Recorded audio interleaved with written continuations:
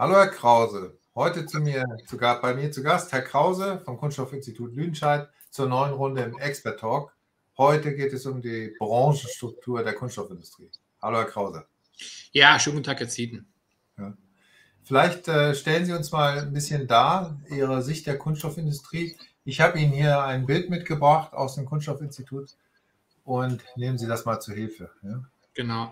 Ja, ähm, das ist ganz gut. Ähm, anhand dieses Bildes kann man ganz gut aufzeigen, die Struktur der Branchen, ähm, da wir halt unterschiedliche Branchen auch je nach Perspektive auch haben. Ne? Also auf der einen Seite ähm, stellen wir die gesamte Wertschöpfungskette dar äh, im Kunststoffinstitut mit unseren 400 Unternehmen. Das heißt, wir haben den äh, Rohstofflieferanten, wir haben den Compoundierer, wir haben den, der den Kunststoff verarbeitet, den Werkzeugmacher, der das Zubehör liefert bis zum, im Endeffekt bis zum Hersteller. Und je nachdem kann man natürlich verschiedene Branchen sich angucken. Also entweder man guckt sich es so an, dass man den Fokus darauf richtet, den ähm, Endverbrauchermarkt, zum Beispiel Automotive, ähm, Bau oder andere Dinge sich anzugucken, oder man guckt halt entlang der Wertschöpfung, wie ich es gerade gesagt habe, im Kunststoffbereich ähm, vom Rohstofflieferanten bis zum Hersteller oder man guckt zum Beispiel auch im Prozess, also wer macht zum Beispiel Kunststoffverarbeitung. Und das Wichtige ist zukünftig sich als Unternehmen anzugucken, wie strukturiere ich diese Branchen und wie kann ich da gucken, welche Vor- und Nachteile gibt es, welche Stärken und Schwächen. Am Beispiel eines Kunststoffverarbeiters mal ganz kurz. Ein Kunststoffverarbeiter hat im Schnitt so zwischen 10 bis 100 Mitarbeitern, ist lohnfertiger, also ein kleines mittelständisches Unternehmen. Und fokussiert sich sehr auf eine Branche. Wie kann ich vielleicht andere Branchen nutzen und wie kann ich mich ausrichten darauf? Das sind wichtige Fragestellungen.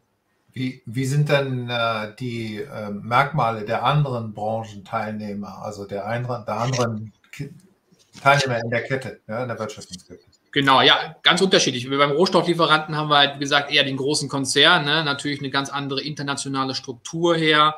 Ähm, ein ganz anderer Fokus ähm, in allen Bereichen. Ähm, beim ähm, Werkzeugbauer haben wir auch tendenziell einen kleinen Mittelständler, sehr klein, in kleineren Bereichen ja schon stark in dem Bereich Handwerk unterwegs, unterwegs und ähm, meist auch mit einer eher wenig ausgeprägten Vertriebs- und Marketingstruktur, äh, mit einer sehr langen Kundenbeziehung.